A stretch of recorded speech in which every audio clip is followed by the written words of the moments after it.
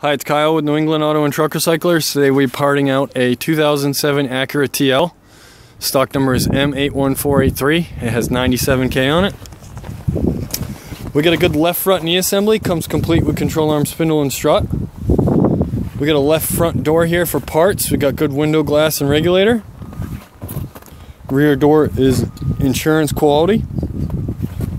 We got a good complete rear suspension. We've got a good left quarter mounted taillight, as well as a good rear rebar and a right quarter mounted taillight. We've got an insurance quality lid gate, comes with lights and hinges. Good rear suspension on the right hand side as well. We got a insurance quality right rear door as well as a front.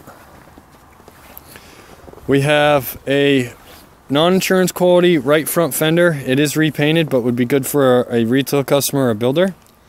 We got a good right front knee assembly. Comes complete with control arm, spindle, and strut.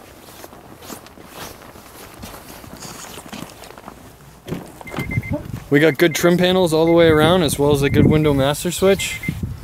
We got leather electric seat on the left hand side for parts. The cover is torn. The rear is showing normal wear and the rear seats are in decent condition for the age. We've got good curtain bags as well as a good dash bag. We've got a good glove box assembly. We have a good radio display as well as a good heater control. We've got a good radio receiver as well as a good floor shifter. We have a good center console. As you can see, this engine does run and sounds great when revved up.